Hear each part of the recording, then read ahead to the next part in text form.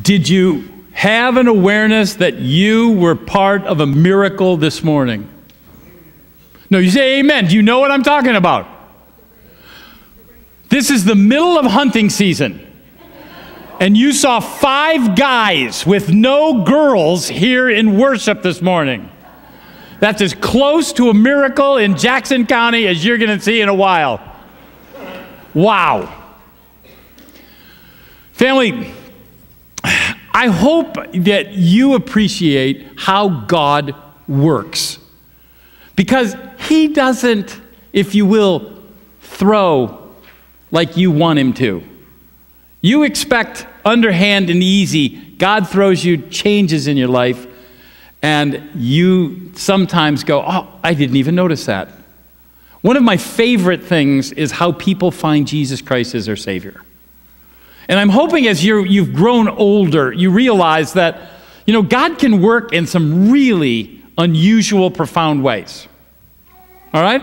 Um, in my heritage here, uh, one man, when I asked him how he accepted Christ as his Savior, he accepted Christ after 10 o'clock on a Friday night, having already taken hallucinogenic mushrooms.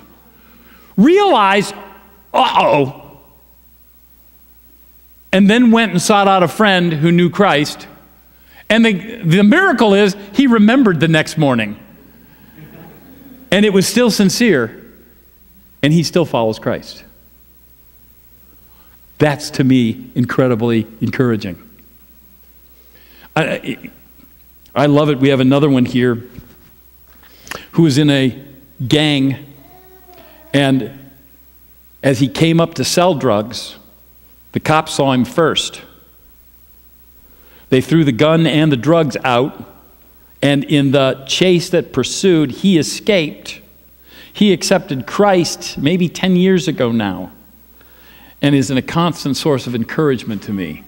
God has a way of interjecting himself in weird situations. Now, just so that you understand, I think that God working in unusual ways normally is rather fun. We have a young man here in the church accepted Christ as his Savior because his babysitter, when he was four years old, shared with him the gospel of Jesus Christ. And before he fell asleep for his afternoon nap, accepted Christ as his Savior and has never doubted the information of the gospel from that day on. You see, you don't need mushrooms to have a great testimony. You just need to be aware that God works in unusual ways. And He doesn't plan out what you and I normally think as normal. And so we're going to come today to what you and I see as the day of Pentecost. And I want you to know as we start, it's not a normal day. It's not a normal day. Now, you saw last week that it came with supernatural traction. It came with a flame of fire that stood in front of each and every member of the church. All right? As that tongue of fire came in and then entered into the individual, they began to go out and they spoke flawlessly in the language groups of the people who were here worshiping in Jerusalem. And as they heard it,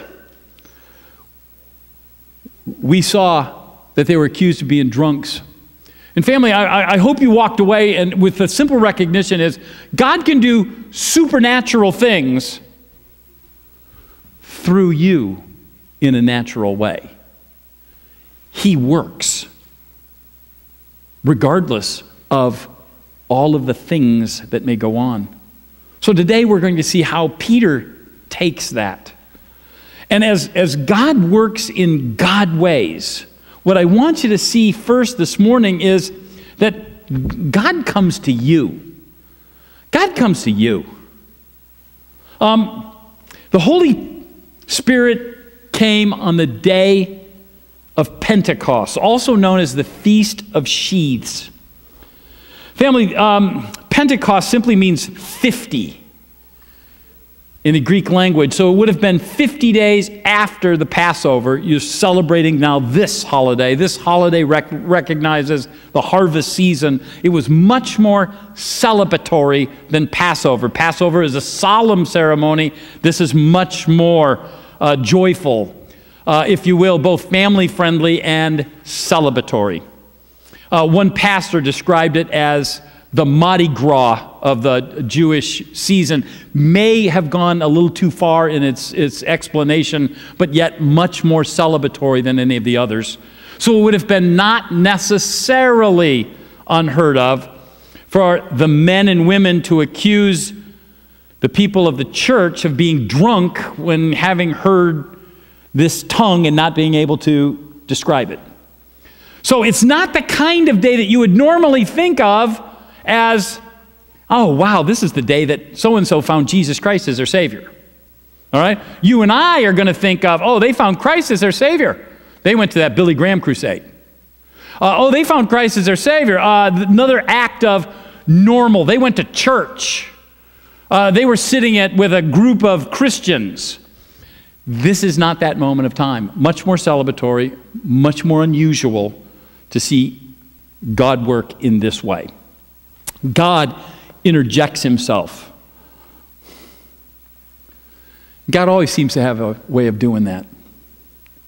And, family, uh, conversely, you might be wondering uh, what does it mean as the church of Jerusalem, we're waiting upon the Holy Spirit.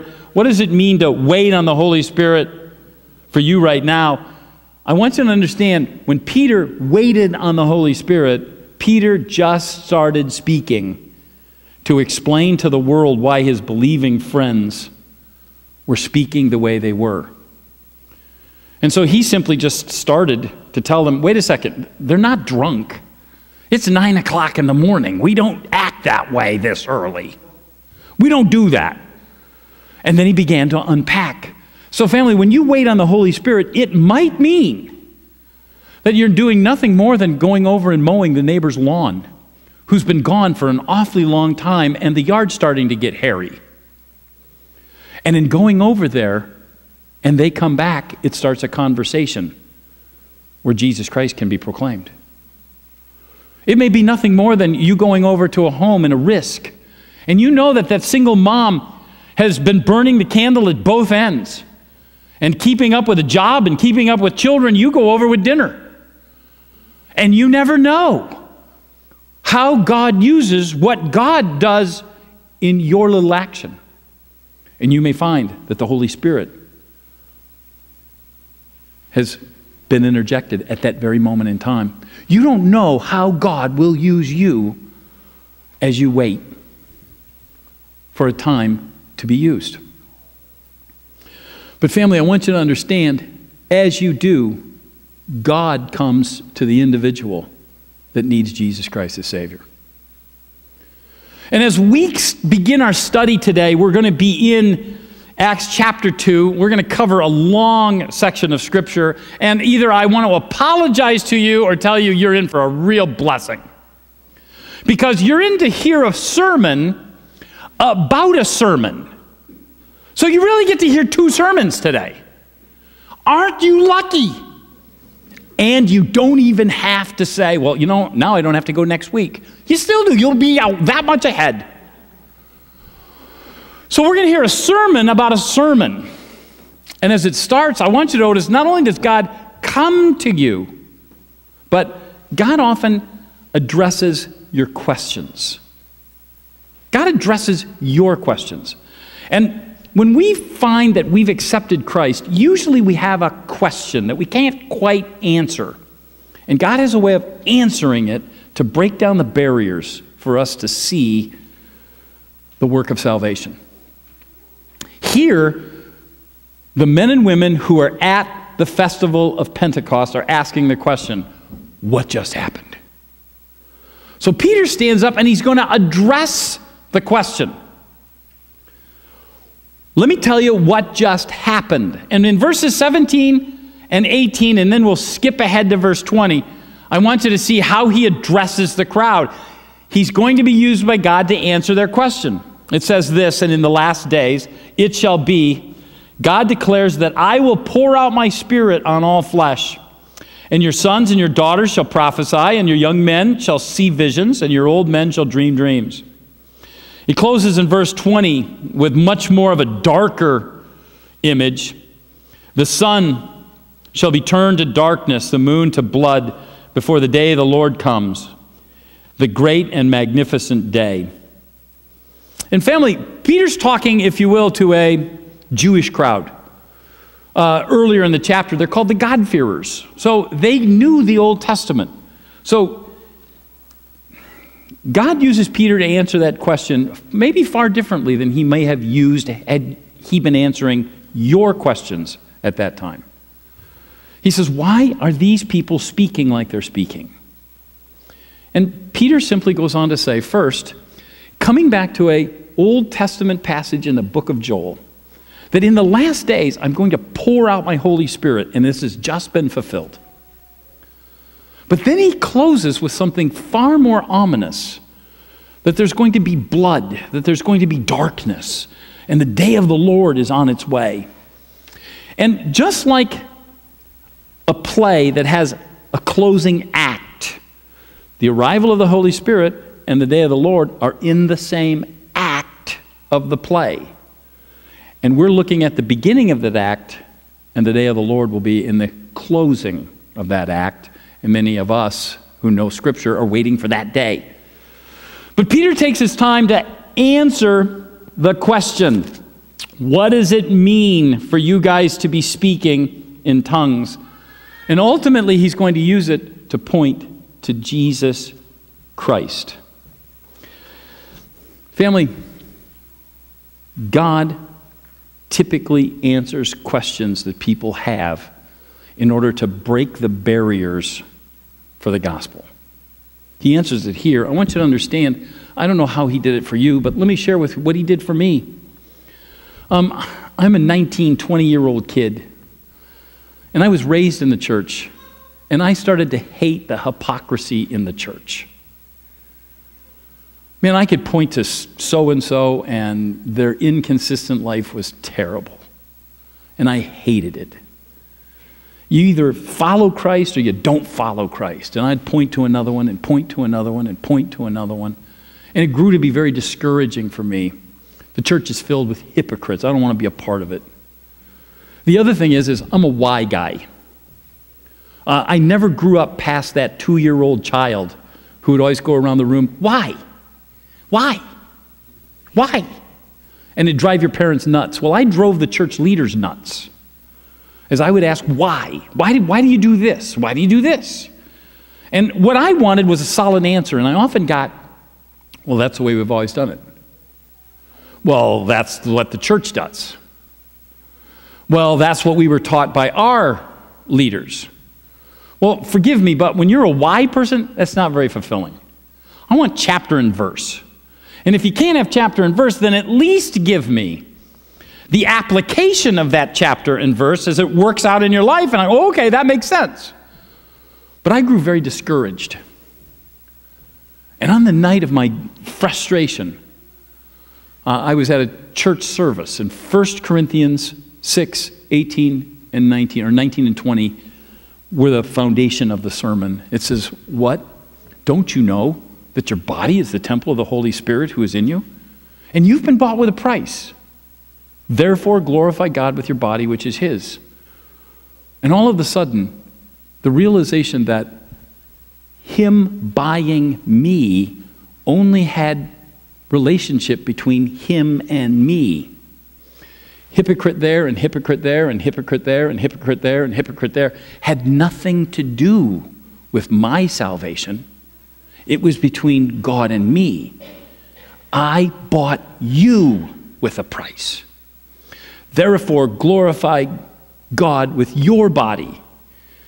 And all of a sudden, you realize it wasn't about what the church was doing right or wrong, it was about my relationship with Jesus Christ. And all of a sudden, the question that I had got rewritten. And God says, wait a second, your question's the wrong question. Let me share with you the right answer to the right question. And all of a sudden, the reality of the gospel became something that I could easily embrace because the questions were answered. God not only comes to you, but God addresses the questions that men and women have when they need to respond to the gospel. It's not just done on a blank slate. And t- now, today, we're going to look at the entirety of the sermon. And so, if you will, as I begin, we're going to read verses 14 all the way down to verse 41. I'm sorry, not 14. Uh, we're going to read verse 17 all the way down to 41. And if you will, follow along as I work through them, and I'll get them right. We're going to start at verse 22. Notice what it says Men of Israel, hear these words. Jesus of Nazareth, a man attested to you by God with mighty works and wonders and signs that God did through him in your midst. As you yourselves know, this Jesus, delivered up according to the definite plan and foreknowledge of God, you crucified and killed by the hands of lawless men. God raised him up, loosing the pangs of death because it was not possible for him to be held by it. For David says concerning him, I saw the Lord always before me, for he is at my right hand, that I may not be shaken. Therefore, my heart was glad and my tongue rejoiced. My flesh also will dwell in hope, for you will not abandon my soul into Hades, or let your Holy One see corruption. You have been you have made known to me the paths of life. You will make me full of gladness with your presence. Brothers, I may say to you with confidence about the patriarch David that he both died and was buried, and his tomb is with us to this day. Being therefore a prophet, and knowing that God has sworn with an oath to him that he would set one of his descendants on his throne he foresaw and spoke about the resurrection of the Christ, that he was not abandoned in Hades, nor did his flesh see corruption. This Jesus God raised up, that we all are witnesses. Being therefore exalted at the right hand of God, and having received from the Father the promise of the Holy Spirit, he has poured out this that you yourselves are seeing and hearing. For David did not ascend into the heavens, but he himself says, The Lord said to my Lord, Sit at my right hand until I make your enemies your footstool. Let all the house of Israel therefore know for certain that God has made him both Lord and Christ, this Jesus whom you've crucified. Now, when they heard this, they were cut to the heart and said to Peter and the rest of the apostles, Brothers, what shall we do? And Peter said to them, Repent and be baptized, every one of you, in the name of Jesus Christ for the forgiveness of your sins, and you will receive the gift of the Holy Spirit. For the promise is for you and for your children, for all who are far off, every one whom the Lord our God calls to himself. And with many other words he bore witness and continued to exhort them, saying, Save yourself from this crooked generation.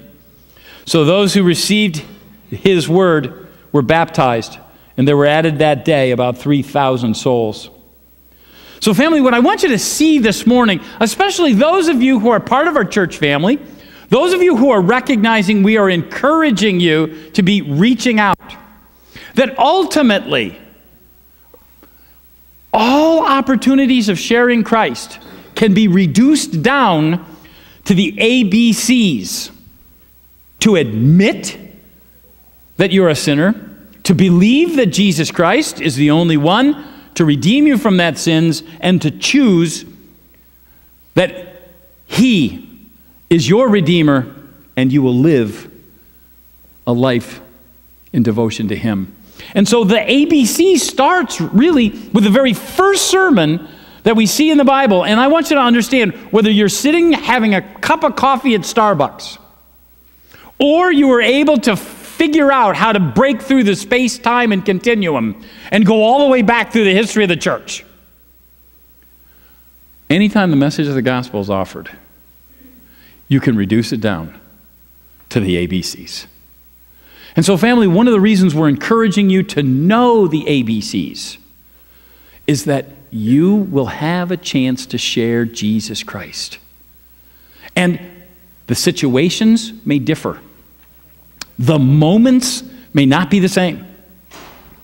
But the core information that will transform the individual that you love and are communicating to will always, always, always come down to the simple message of the cross, the ABCs.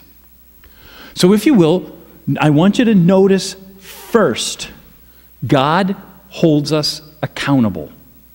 Admit it. Admit it.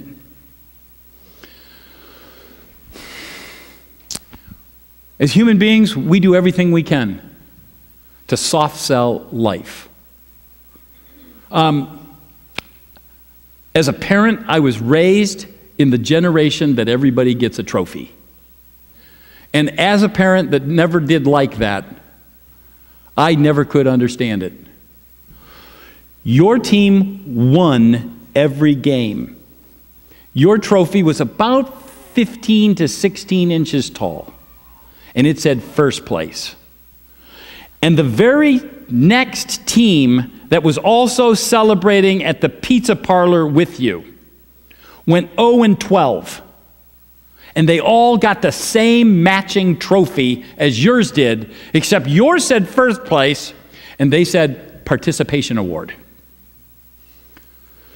Nobody has any problems. Nobody succeeded. Nobody failed. There's a British singer right now uh, called Rag and Bone. Not usually a guy that you're going to talk about in church. But he has, an, he has a song out called Human. And it simply says this Maybe I'm foolish. Maybe I'm blind. Thinking I can see through this and what's behind. Got no way to prove it, so maybe I'm blind. But I'm only human after all. I'm only human. Don't put the blame on me. And so, as he sings through each and every one of the verses, he simply comes to the conclusion hey, I, am not at fault. I'm only human. And, family, we live in a world that no one wants to be responsible. Now, I want to suggest to you today that's not the most loving thing that you can tell anybody. All right? Let me give you another scenario. I go to my doctor. And I go to my doctor and I said, hey, this thing's been growing over here on my cheek for the last couple of months. And he looks at me and says, ah, don't worry about it. Probably the sun. I said, yeah, but it's about an inch up. Don't worry about it. It's brown. Don't worry about it. I got this funny cough. Doesn't seem right. Eh, go home, take a throat lozenge, it's okay. You know, you're just fine, you're overreacting. Well, I don't want to go home from a guy like that. He's going to be nice to me, he's going to be sweet, he's going to be tender. You see, I want somebody to come in and go, Whoa, what's that on the side of your face? Let me test it. Uh, you got a funny cough. Let me take you through a battery of tests. And then I want that same doctor who's just taken me through that battery of tests to sit down with me. And he said, Mr. Slusher, I've some bad news. You have lung cancer. And that lung cancer has metastasized. And this is the only course of action that we have to really aggressively get what's going on with you. And we're going to begin immediately. And we're going to try to handle you with care and love and concern, but we have to aggressively go after this. Now, forgive me, but I don't want that guy as my doctor. I want this one. He let me know right up the bad news and he tells me what it is and he holds me accountable to what's going to happen. So I want you to hear Peter. Peter doesn't mince words. So let me pick a few verses. Verse 23. you crucified and killed by the hands of lawless men, Jesus Christ. Verse 37 This Jesus, whom you crucified. Verse 38 Repent and be baptized. Now, understand, repent implies in it you're going the wrong way and you're doing the wrong thing. All right? Go with me to the doctor again. And the doctor comes in and he says, Hey, Pete, you're at the dawn of type 2 diabetes. Every man's allowed so many calories in life, and you ate all yours about two years ago. And Pete, you can't behave this way, it's going to get worse. In essence, guys, the doctor just said, repent from your eating habits. I want you to go in a new direction. All right? Peter's saying the same thing, except the trust and the confidence and the sins of the crowd that's listening to him. Repent and be baptized. By being baptized to the, to the crowd there is no longer have confidence in the temple, no longer have confidence in the, the celebration of all of the, the ritual. Uh, you're going to reject it because you're going to be baptized, and your confidence is going to be focused on the Lord Jesus Christ. And then he closes it all in verse 30 the forgiveness of your sins. Yes, there's a standard of behavior. You have, you have gone beyond that standard, and we need to do something about it. And so, family, Peter comes to them and reminds them very strongly not only are they sinners, but they are part and parcel of the group of people that murdered Jesus Christ. Now, I want to suggest to you today that most likely not everybody that's listening were also there six weeks earlier and saying, Crucify him, crucify him. Let his blood be on our hands and the hands of our children. I don't think everybody was there saying that. And yet at the same time, Peter's holding them accountable. But that accountability is the same message that we have carried all throughout the history of the church. It was Rembrandt in the 1500s that could paint the painting of the crucifixion of Christ. And there, as he paints it, he has the Roman guards all around the cross.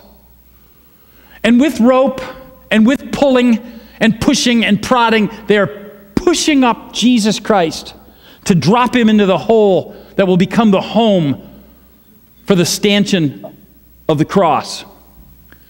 And right in the middle of all of these Roman guards, he paints this little 15th century painter with a blue beret. And out of sequence to history, and out of sequence to the moment, this little teeny man is also hands on the cross, pushing Jesus into place. Rembrandt painted himself into the painting. And he wants the world to know he's as guilty of putting Jesus on the cross as anyone did historically that day. His sin put him there, his sin was responsible. And Peter is doing the same thing in the moment because he's proclaiming our accountability for what Christ does and why he did it. And so, family, it's very important for all of us that if we're going to ever explain the gospel, that the accountability that all of us, every man, woman, and child on the planet, needs to recognize we put Christ there because of our sins. So file away your opportunity to proclaim that we did it, and we have to admit it. Family, I also want you to see that God places our blame on Christ. Believe it. See, the reality of, uh, of our life in sin can be pretty depressing. Can't it? Now, let me even make it worse for you, all right? You're all Christians. It's sunny and rosy and good in your world. I get that, right? Always good. Let, us remove Christ for a moment. Let's remove the cross. Let's pretend for a moment that there is no sovereign God in absolute control of the earth. He's not designing the end according to his perfect love and his knowledge. There is no divine awareness. We're left with nothing more than happenstance. All right? Let's come to your life.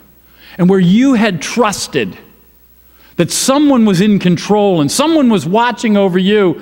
And as Romans says, that God works everything together for good. Let's remove that for a moment. And so not only do we have happenstance in the situations of the earth, but we have nothing but chance in your life. And now let's interject guilt. Because you already have despair, but guilt because of sin. But here's the problem who designed sin since there is nothing to design right and wrong, chance and happenstance have all left us with where we're at. And now what we're left with is, is this people's opinion and this people's opinion and this people's opinion and this people's opinion.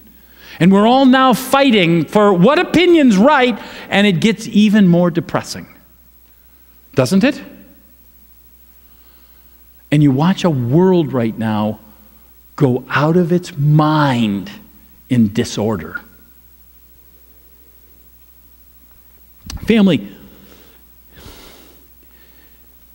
John 14, 6 can tell us that Jesus takes that control that's lacking and says, I am the way, the truth, and the life. No man walks to the Father but by me. And so he gives you and I confidence of that truth, and he places it clearly on himself.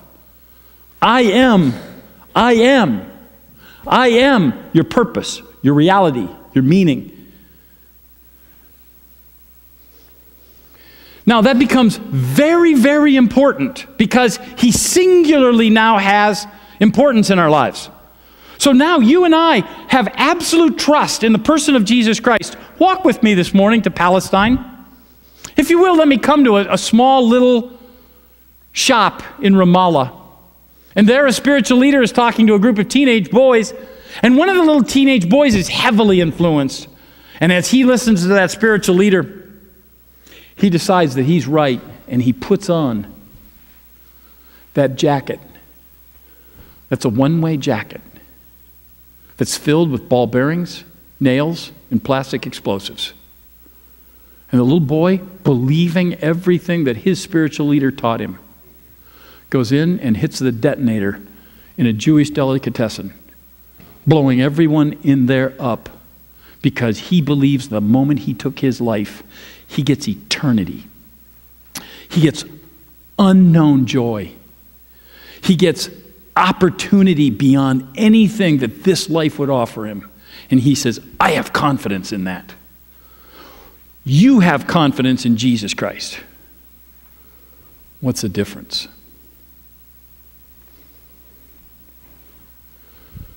Peter looks out that day and he says, Wait a second, guys. I want to show you the validity that you can stand on. I want to give you some confidence. And so, to that crowd, he gives them a fourfold understanding. And he says, first, in verse 22, he says, Jesus of Nazareth, a man attested to you by God with mighty works and wonders and signs that God did through him in your midst. So, for this crowd, as he spoke, he says, Hey guys, hey, let's go back six weeks earlier. There's a lot of you in this crowd who were, who were there when he fed 5,000. You remember that? Oh, yeah, I was sitting in that crowd. I can't believe how much I ate. And he did that all from a happy meal. Oh, I remember it. Some of them were there when Bartimaeus got his sight back. Oh, yeah, nobody could take that blind guy and let him see. And some of them were there when Lazarus walked out of the tomb. Oh, yeah, I remember the aftershave that he had. Whoa! And he came out alive. I remember that. And so we're reminded this, this morning. Peter goes right back and he says, Guys, wait a second. Nobody does that unless they have greater claim than just mere manhood.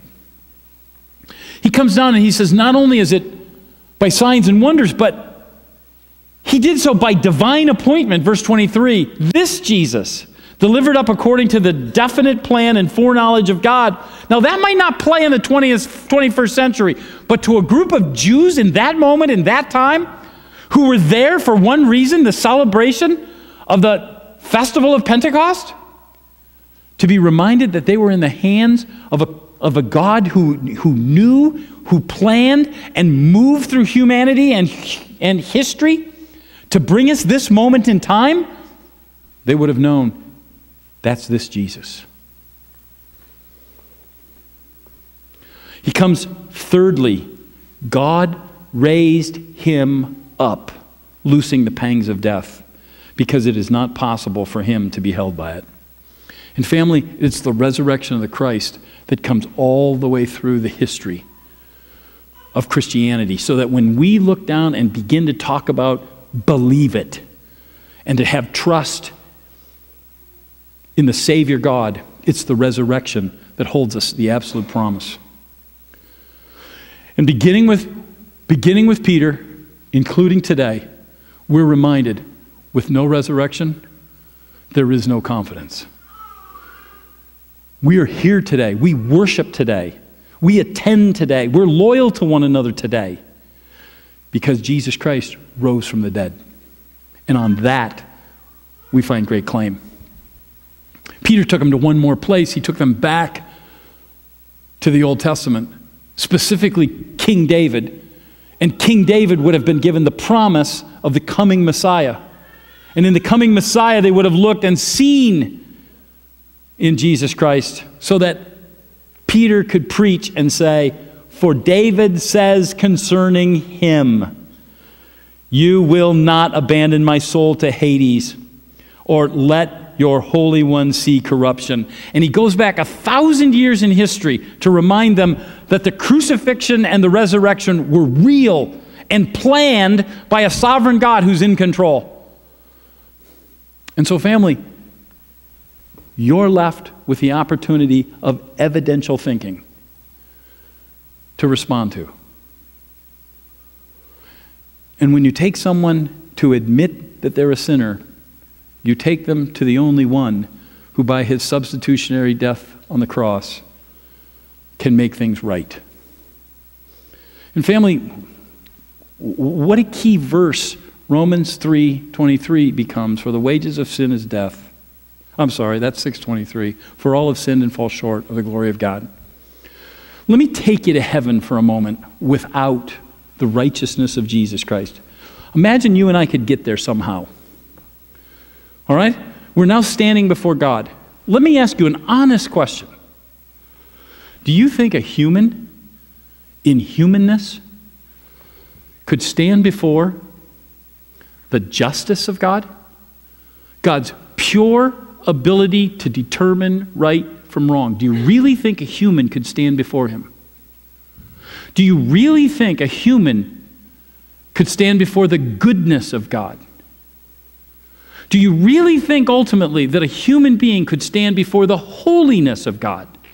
Someone who is so absolutely holy that he can tell you about his character, not as if it was braggadocio, but knowing that if you knew him that well, you would be blessed. Do you really think a human being could stand before that God? So the substitute gives us his righteousness so that we can stand before that God. He holds us accountable, admit it. God gives us, or God places our blame on Christ. He's the substitute. Believe it. And so we're given a plan of attack that goes all the way back to Pentecost that day to be witnesses, to follow the King of Kings.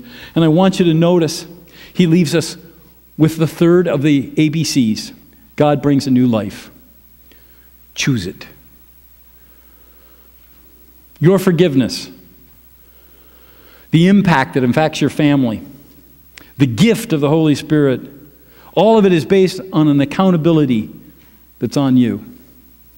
So Peter could say, Save yourself from this crooked generation. And, family, uh, one of the things that you will always have to talk to anyone when you talk to an individual about their, the gift of salvation is a sense of expectation. You see, if a person if a person has cancer, they have to put their trust in something. They have to choose the plan of attack they're going to do. So, again, let me come back to the doctor's office for a moment. And the doctor begins to tell me about my cancer. I have lung cancer.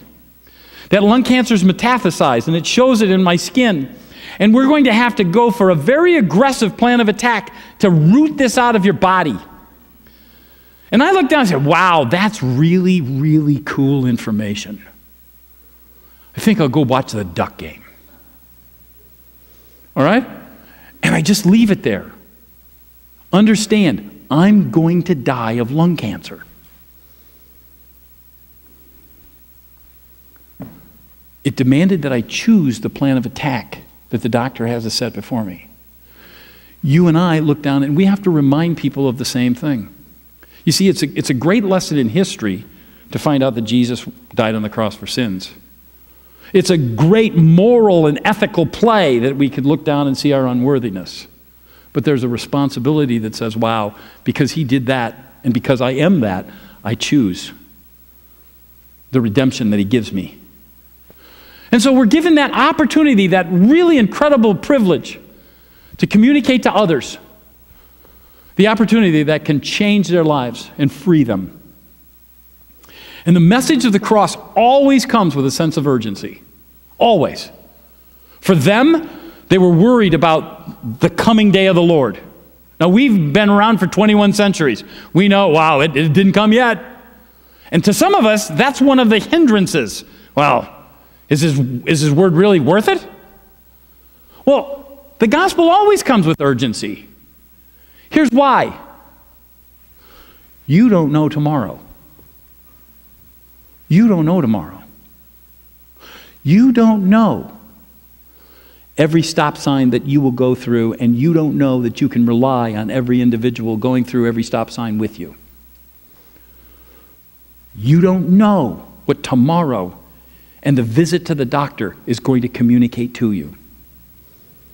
You don't know that family outing that could turn tragic because you only had three life rafts, or excuse me, life vests, and you had five people. You don't know. And the other killer is this we can grow hard in our hearts. Uh, Hebrews says it this way in verse 4, or chapter 4, verse 7. Today, if you hear with your voice, do not hear his voice, do not harden your hearts. Let me go back to my, my doctor for a moment. Pete, you have type 2 diabetes. You got to lose a little weight. You know, Doc,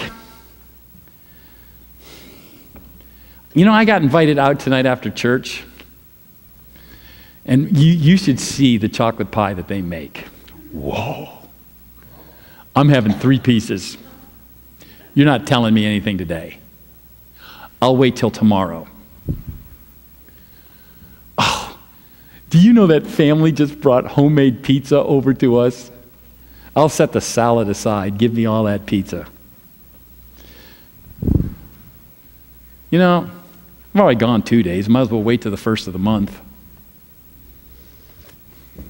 You know, my pants are fitting okay. I'll just buy a larger pair when the next time I need it. And I go on and I go on and I go on. Why? Because I haven't seen the, the sense of urgency. There is nothing there. But God says, hey, wait a second. You don't know tomorrow. And if you don't do well on a decision that's easy to see in this life, what happens to an eternal one? Choose wisely now. And so, family, because you and I don't know tomorrow, we simply remind people that they have the privilege to choose the gift of salvation. I want you to understand, Peter did that day. Peter spoke out to them and said, Save yourselves. And you know what's amazing? On a party day, on a day that they should have had a good time, on a day that should have been very family friendly and filled with incredible memories, 3,000 people heard him and changed their lives. That's the privilege that you and I have. We get to communicate that same great story, never knowing the moment, never knowing the incidents that God will use by just being faithful. Father in heaven, allow us the privilege to see what you've designed in us being believers. We get to be your witnesses. And so, Father, I would ask that you would watch over and allow us to take on that strategic reality that we were given the privilege of salvation, that we may take the gift of salvation to others. And so, dear God in heaven, I would pray that you would allow us to see, pray for, and take opportunity to see others find the great and precious Savior that we know and love. In Jesus' name, amen.